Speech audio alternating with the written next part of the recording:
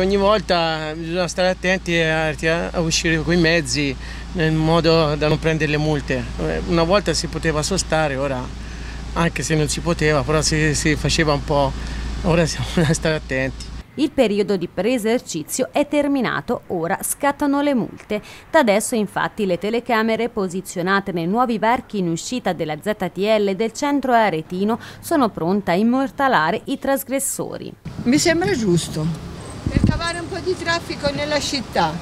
Mi sembra giusto, se è obbligata l'entrata perché non deve essere controllata l'uscita. Il transito all'interno della ZTLA è consentito dalle 12 alle 17 e dalle 20 alle 8.30, stesse limitazioni anche per l'uscita che dovrà rispettare questi orari. Per la ZTLB invece è vietato l'accesso a tutti i non titolari di permesso dalle 8 alle 24. Bene, meglio anche perché vivendo qui in centro storico spesso spesso chi non è del centro storico viene a parcheggiare, quindi non c'è posto, caos e poi è bello avere un centro comunque interamente pedonale. I nuovi varchi in uscita con videocontrollo sono sei, in via De Pileati, in Borgo Santa Croce e poi ancora Padre Caprara e Piaggia del Murello ed infine in via Isodoro del Lungo.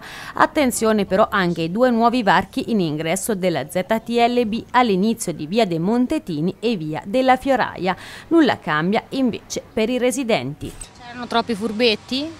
Eh, ma sai, i furbetti ci sono, non ci sono. L'importante è che ci sia un'idea di cosa si, vuole, cosa si vuole fare il centro storico perché è veramente bello.